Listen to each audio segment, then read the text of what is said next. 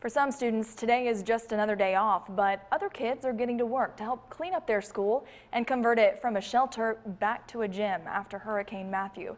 Today, I hung out with the students at Butler High who said what they learned this weekend goes far beyond the classroom. This is not a church or a Friday night football game.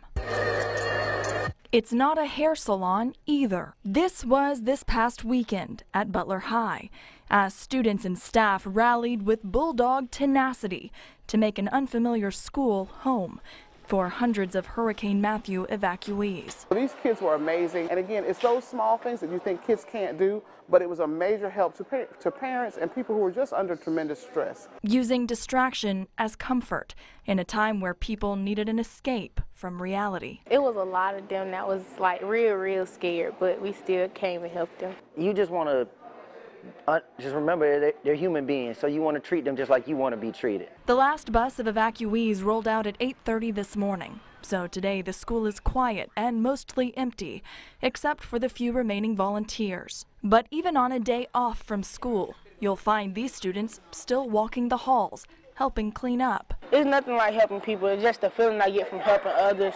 It like it brings me a, a type of joy that I, I just want to get happy. This weekend, these high schoolers brought that dose of happy to a crowd that was happy to finally have some normalcy. At this point of time, I know they're dealing with a very rough situation because their homes and how much wreckage it could be there. I just want to at least put a smile on their face, just let them know they're not alone.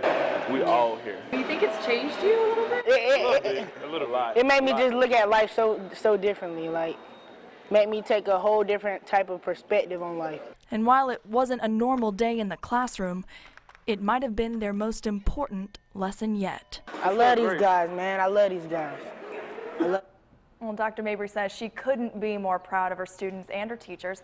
They did everything from hauling trash and cleaning toilets to rocking babies that needed soothing this weekend. And she says thanks to everyone's help and the school district's plan, they will be ready for school again on Wednesday. What a great group of students there, Christie. Thanks for that.